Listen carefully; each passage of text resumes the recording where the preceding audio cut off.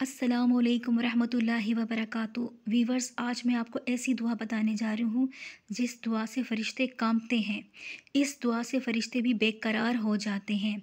उनमें हलचल मच जाती है। वीवर्स अगर कोई शख्स तीन बार इस दुआ को पढ़ के अपने लिए दुआ मांगेगा तो उसकी सारी परेशानियाँ दूर हो जाती हैं। इससे नामुमकिन काम भी मुमकिन हो जाते हैं। ये दुआ आसमानी फ़रिश्तों को मदद के लिए बुलाने वाला एक अमल है। इससे घर में कसीर रिस्क की फरावानी होती है। आइए मैं आपको इसके बारे में पहले एक वाक़ सुनाती हूँ। फरमाते हैं कि एक मज़लूम ने ये दुआ पढ़ी। उस वक्त एक कड़क की आवाज़ आसमान से आई और एक फ़रिश्ता हाथ में बर्छा लिए हुए नाजिल हुआ।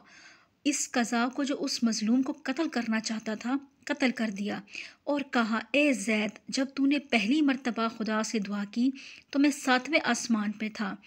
जब्राईल सलाम ने आवाज़ दी कि इस मज़लूम की मदद को कौन जाता है? मैंने कहा, मैं जाता हूँ। फिर जब तूने दूसरी दफ़ा दुआ की तो मैं आसमान दुनिया पर था। फिर जब तूने तीसरी बार दुआ की तो मैं आन पहुँचा।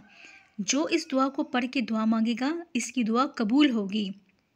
फिर हज़रत जैद हजूर पाक वसम की खिदमत में हाजिर हुए और आप से वाक़ बयान किया तो आप ने फरमाया कि खुदा ताला ने तुझको अपना इसमें अज़म तलकीन किया, जिसके साथ जो दुआ मांगी जाती है, कबूल होती है।